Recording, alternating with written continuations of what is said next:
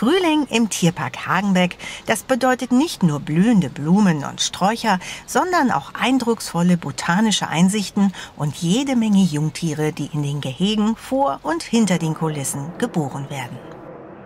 Wie die kleinen Pampashasen, auch Maras genannt, die frei im Tierpark herumtollen und ihre Babys fast unbemerkt in versteckten Büschen zur Welt bringen. Auch im Haustiergehege ist inzwischen einiges los. Seit mehreren Wochen verstärken immer neue Ziegenbabys die Gruppe. Neben den Zwergziegen leben auch drei deutlich größere Ovambo-Ziegen und einige Usson-Schafe im gleichen Gehege. Auch bei den zierlichen schwarzen Schafen, die einer seltenen alten Haustierrasse angehören, wurden jetzt Junge geboren.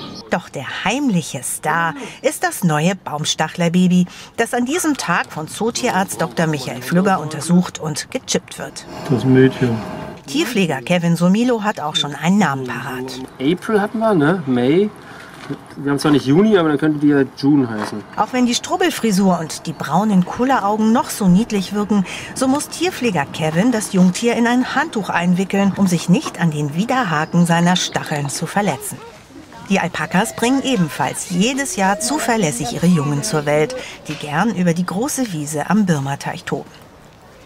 Gleich nebenan hat Familie Wasserschwein gerade Nachwuchs bekommen.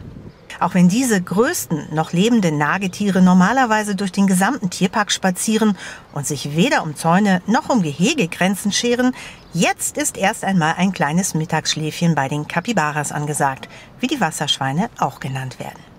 Die Schwarzhalsschwäne, die auf dem Dinosaurierteich bei den Riesenschildkröten schwimmen, haben selten so viele Küken bekommen wie in diesem Jahr.